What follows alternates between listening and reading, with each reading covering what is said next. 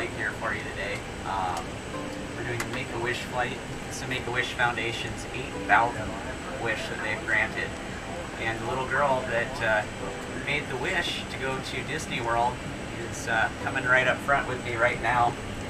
And uh, it's, really special because her parents are on board and uh, they're both pilots for Alaska Airlines. But so am I. This is actually my niece Maeve. So um, I have the privilege, thanks to Make-A-Wish and Alaska Airlines, to fly her down to Orlando today for her wish. And uh, she's the strongest little girl that I know. Um, she had stage 4 neuroblastoma, and she's now cancer-free. Not only is she healthy, but she's thriving. She's a good little skier, and she scored three goals in her last soccer game. Oh, good job. So, I just want to uh, wish Maeve a fun trip. And do you want to say anything to the wonderful guests we have with us? Thank you. Uh, I love you.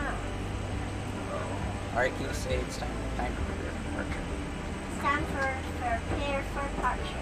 Yeah, Good good job. Good job, Maeve. Very good. This is pa- this is co-pilot Maeve. Passengers, please get ready for the flight.